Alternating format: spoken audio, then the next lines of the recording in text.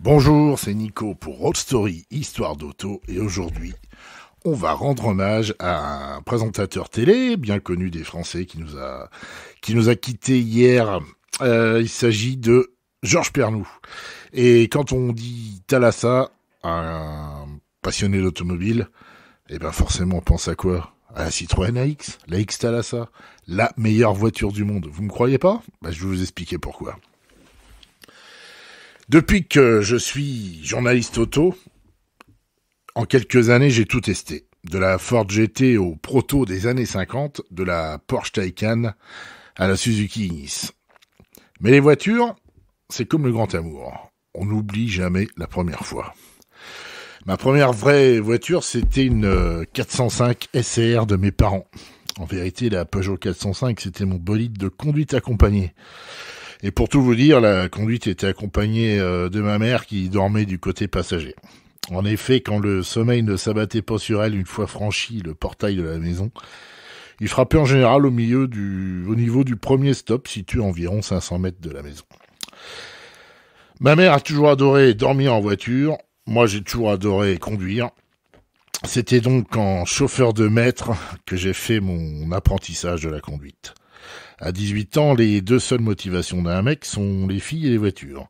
Après avoir passé le code en 15 jours et obtenu le précieux sésame rose du premier coup, il me fallait donc trouver un bolide qui se devait être euh, pas cher, facile à entretenir, incassable et quand même un petit peu marrant à conduire.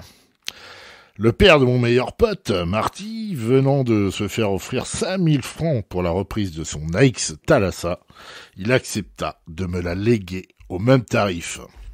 Je me retrouve donc propriétaire de ma première voiture, une magnifique AX Thalassa 5 portes, bleu nuit avec liseré vert, toit ouvrant et volant cuir. Et la Citroën AX alors, c'est quoi? Le projet S9 qui donnera naissance à la Citroën AX, est lancé par la marque aux chevrons en 1981. Si la marque est bien présente dans le domaine des petites voitures, l'offre est vieillissante et éclatée. La Visa vient de devenir Visa 2, la deux chevaux se voit dotée d'une finition Charleston et la Diane termine sa carrière. L'objectif de Citroën est clair, remplacer d'un coup tout ce petit monde avec une citadine moderne. Cette petite, euh, on peut rajouter d'ailleurs à cette petite liste l'Axel, hein, qui, est, aussi dans la gamme euh, Citroën à ce moment-là.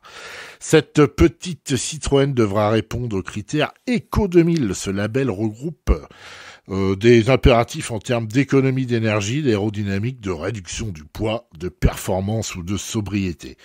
Cela rappelle d'ailleurs étrangement le cahier des charges minimaliste appliqué à une deux chevaux par exemple, mais euh, qui pourrait être aussi appliqué à une nouveauté de 2020 tant ces valeurs reviennent sur le devant de la scène à l'heure de la, de la chasse au CO2. Les premiers prototypes sont modelés au début des années 80 et adoptent la forme monocore. Après différents tests et hésitations, cette forme sera abandonnée. Le monocore n'est pas assez aérodynamique et surtout on redoute la réaction de la conservatrice clientèle Citroën. L'AX se destine aux jeunes, mais à la tête de la marque, on ne connaît que trop la moyenne d'âge d'un acheteur de véhicules neufs pour prendre le risque. Il faut remettre cela dans le contexte de l'époque. La Renault Espace n'est pas encore sortie. Et euh, la Twingo encore moins. Les seules voitures sans capot, donc monocore, sont donc des utilitaires et ça ne cadre pas avec l'image dynamique que l'on souhaite donner à ce projet.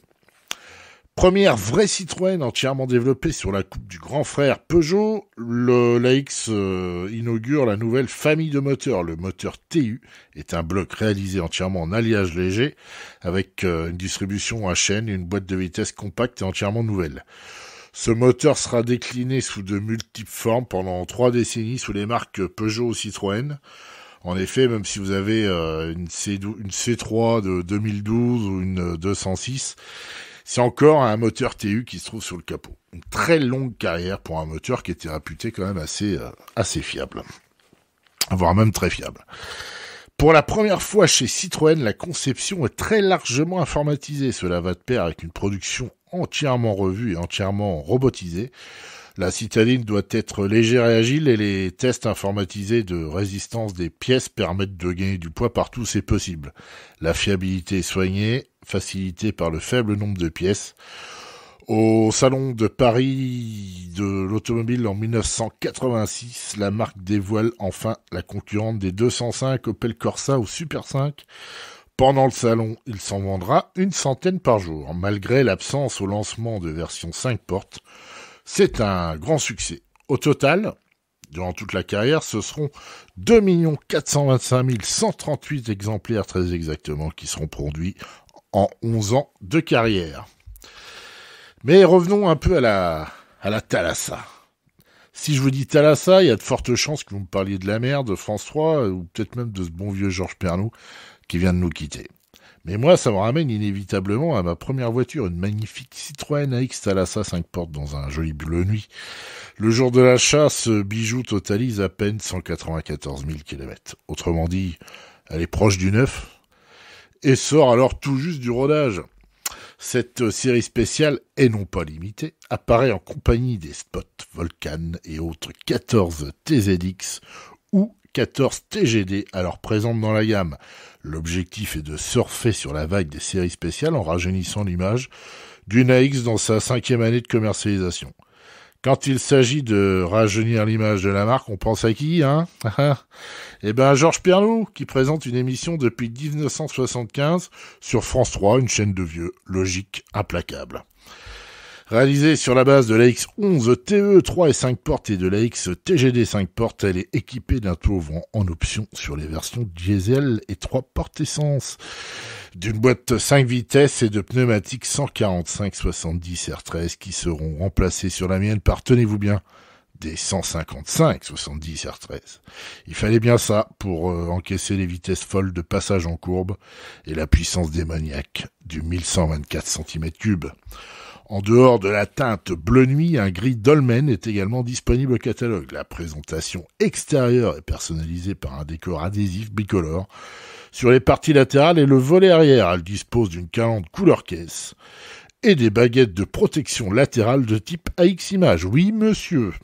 Sur les portes avant, un logotype Thalassa en adhésif blanc et des monogrammes Citroën et Citroën AX Thalassa euh, apparaissent sur euh, le volet arrière. À l'intérieur, l'harmonie générale est noire avec un liseré de couleur assorti au jonc de siège alors pourquoi noir? Pourquoi je précise? Parce qu'en fait les autres, euh, la plupart des autres AX, en tout cas les, premiers prix, avaient un intérieur gris. Là c'était l'intérieur noir, c'est haut de gamme. Sur le pommeau sport du levier de vitesse ou la planche de bord, on retrouve aussi ce, liseré de couleur. Du tweed recouvre, alors les sièges matelassés et les appuis-tête sport avec un rappel sur les panneaux de porte. Les accoudoirs sont de type AX5 portes. Selon la teinte choisie, bleu nuit ou gris dolmen, le décor adhésif extérieur est vert bleu ou rouge gris, avec des liserés intérieurs bleu ou rouge. Mon exemplaire possède quelques particularités. Les pneus plus larges, un magnifique poste radio cassette et un petit aileron arrière posé par le précédent propriétaire et qui sera rapidement enlevé. Elle avait surtout la réputation d'être l'AX la plus rapide de France. Vous en doutez? Je ne me suis jamais, me suis jamais fait doubler par un autre X. Pendant les quatre ans où j'ai roulé avec. Ça devrait suffire à répondre à la question. À l'époque, j'étais intermittent des études supérieures, ce qui en clair signifie que j'étais trop débordé pour honorer l'établissement scolaire de ma présence chaque jour. Un lundi, alors que j'étais franchement sur la sellette, un réveil tardif me met au pied du mur. Soit j'arrive à peu près à l'heure au lycée, soit il sera compliqué de trouver une énième excuse. Les 66 km entre le centre-ville de Bayeux et le lycée de Coutances seront ce jour-là parcourus en 34 minutes. Ça peut sembler modeste si on ne connaît pas cette route, mais j'ai jamais réussi à faire mieux depuis, malgré des voitures évidemment bien plus puissantes et modernes. L'AX tenait la route, son poids était limité, ce qui lui permettait une agilité qu'on peine à trouver sur les voitures d'aujourd'hui. Au chapitre des faiblesses de la bestiole, il faut quand même évoquer le freinage.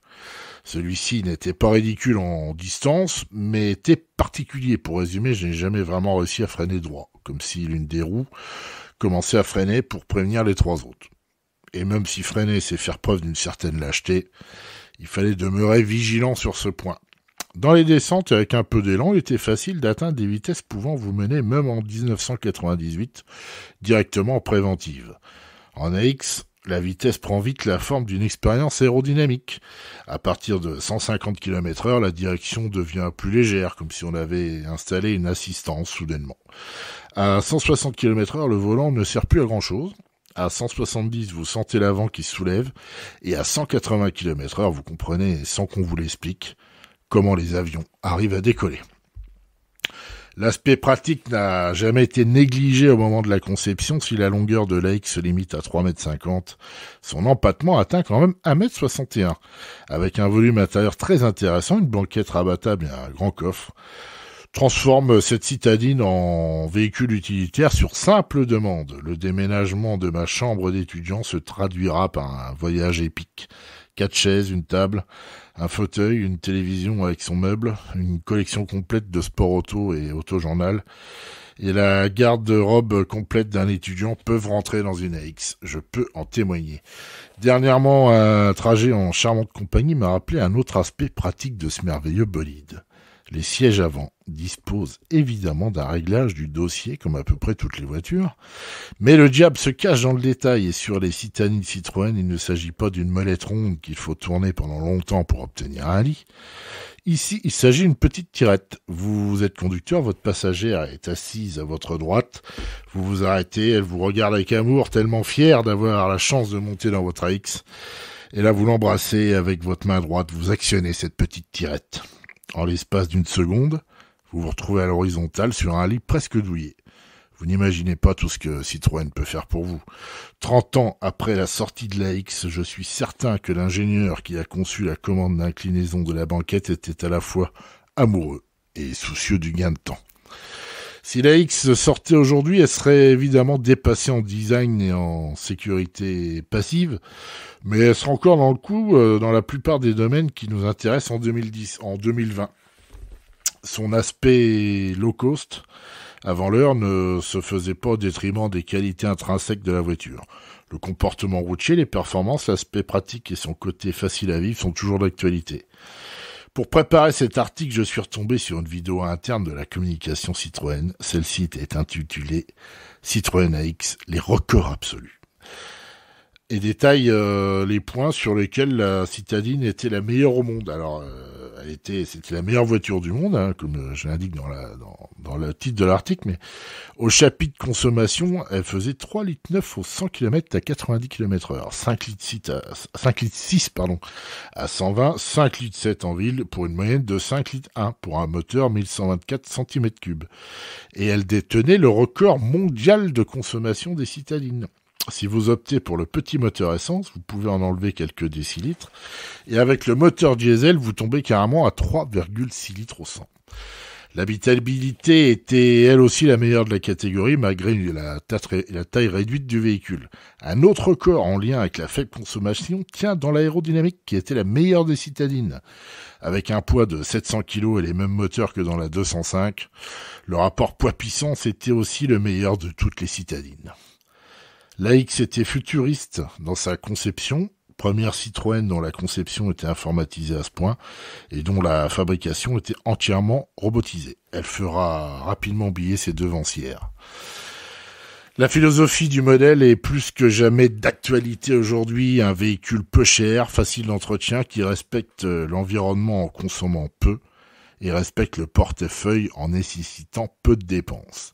Il est possible de trouver une AX en campagne assez facilement, entre 500 et 1000 euros pour les très beaux exemplaires. Euh, titre personnel, j'ai toujours un petit pincement au cœur en croisant une AX. Et je me pose toujours la même question. Mais pourquoi je l'ai vendue